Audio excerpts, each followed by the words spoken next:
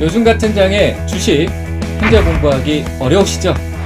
여러분들의 투자 계좌 및 주식 챔피언이 준비했습니다.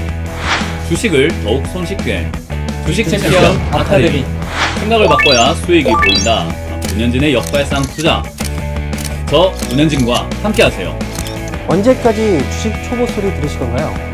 주식 초보님들을 고수의 길로 안내하겠습니다. 저 황영 멘토와 함께 하시죠. 투자 원칙이 있어야 길이 보입니다. 매수 매도 잘하는 방법 제가 전해드리겠습니다. 저 김도호와 함께하세요.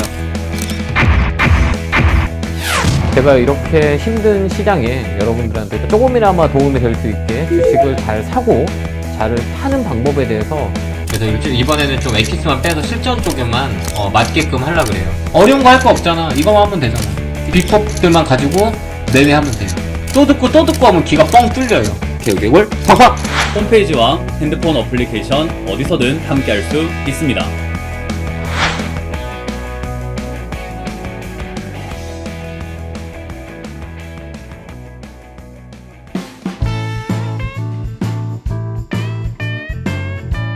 생각이 바뀌면 수익이 보인다 역발상 투자의 문현진 멘토입니다. 자, 오늘도 많은 종목들이 급등이 나오고 많은 종목들이 급락을 하고 있는데요.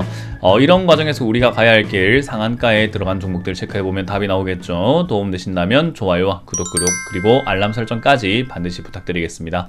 자 그리고 오늘 오후 8시에 제가 무료 강연 준비가 되어 있는데요. 어, 장이 빠진다라고 제가 누누이 말씀드렸고 지금 뭐 보시다시피 빠지고 있는 상황에서 어떻게 해야 될지 그리고 제가 앞으로 어떻게 시장을 바라보고 있는지에 대해서 궁금하신 분들은 오셔가지고 저의 이야기를 좀 들으시면서 채팅도 참여하시면서 여러분들 생각이 있으시면 그 생각도 한번 같이 의논을 해보는 그런 시간을 가졌으면 좋겠습니다 자 일단 오늘 시장은 밀리고 있습니다. 눈에 뻔히 보이는 3.1% 정도 이렇게 밀리고 있는 상태고요. 코스닥 같은 경우도 5.2% 꽤나 많이 밀리고 있죠.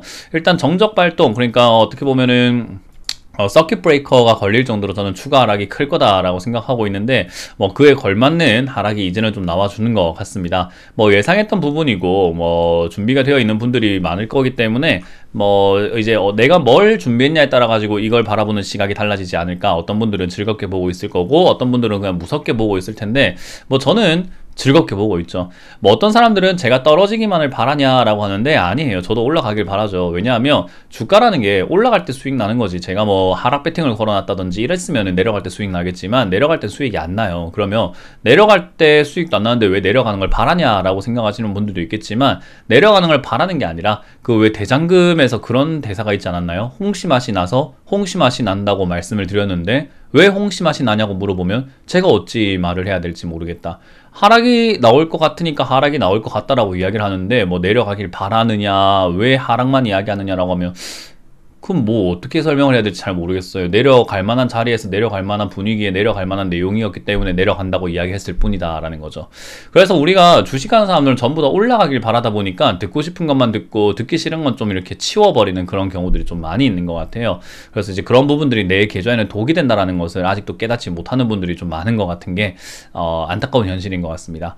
자 어쨌든 추가 하락 나오고 있고요. 이거 증시는 뭐 더 내려갈 것 같습니다. 이제 하락이 시작이라고 생각을 하고 있고요. 한 2000포인트나 1800포인트까지는 추가 하락이 나오지 않을까 생각하고 있으니까 그 점 염두에 놓고 좀 더좀 관망하는 자세가 좋을 것 같아요. 추가 매수 고민하시는 분들도 추가 매수 하면 안 되고 신규 매수 하시려고 했던 분들도 이제 매수의 기회가 다가오고 있는 건 맞지만 매수를 해야 되는 건 아닌 거예요. 그 차이는 좀 크죠. 그래서 여러분들이 그 점을 좀 참고하셔가지고 대응하시는 게 어떨까 싶네요.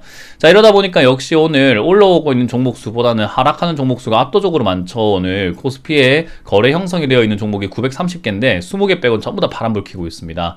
코스닥 같은 경우도 1500개 중에 44개 빼고는 43개 3개 빼곤 전부 다 1450개가 지금 하락을 하고 있어요. 그러니까 하락이, 하락의 냄새가 좀 짙은 시장이죠. 그러니까 여러분들 종목만 빠지는 것도 아니고 뭐 어떤 누구의 종목만 빠지는 게 아니라 다 빠지고 있으니까 크게 걱정할 만한 단계는 아니라는 거예요.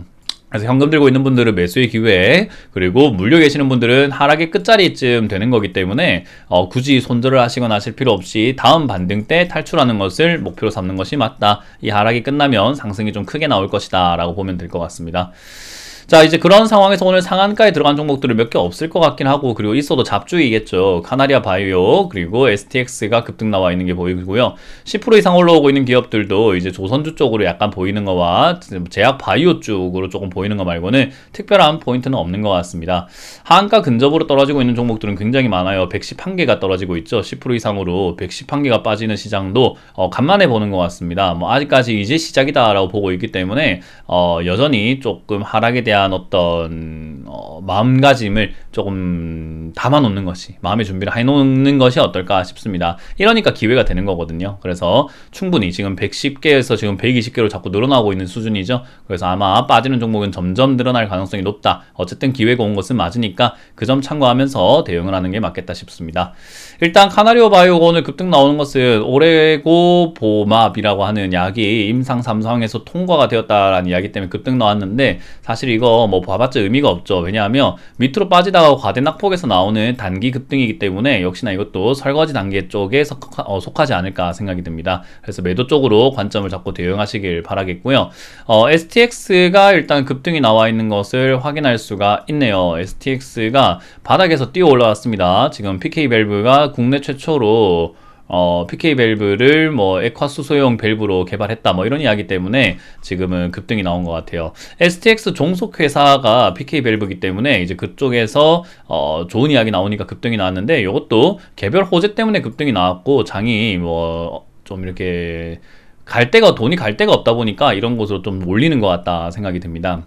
그래서 장 안 좋을 때 올라오는 종목들을 잡으면요 엄청 큰 독이 돼요. 그래서 여러분들이 그 점 참고하셔가지고 장 안 좋을 때는 그냥 장을 안 보는 게 제일 최선입니다. 그래서 여러분들이 어 지금은 뭘 사야 될까 급등한 종목으로 뭐 매매를 해볼까 하시는 분들은요 좀 안 하시는 게 좋아요. 전업하시는 분들도 사실 이런 시장은 조금 피하는 게 좀 제일 좋거든요. 그럼에도 불구하고 내가 매매를 해야 된다면은 본인의 실력과 기준이 있기 때문에 뭐 하시는 건 상관없지만 굳이 하지 않는 것이 가장 베스트인 시장이 아닐까 그렇게 조언을 드려보도록 하겠습니다 자, 어찌됐든 장이 안 좋지만 뭐 이제 시작이고 이제부터 지켜봐야 되는 부분들이 더 많기 때문에 너무 괴로워만 하지 마시고 정신을 바짝 차리시고 이제는 포인트를 잡아야 된다. 어, 떻게 해야 될지 기로에 섰다. 여러분들이 뭐 해야 될지 확실하게 안다면 실행 용기 준비를 하시고요. 확실하게 모른다면 이제는 진짜 배우는 거 늦었습니다.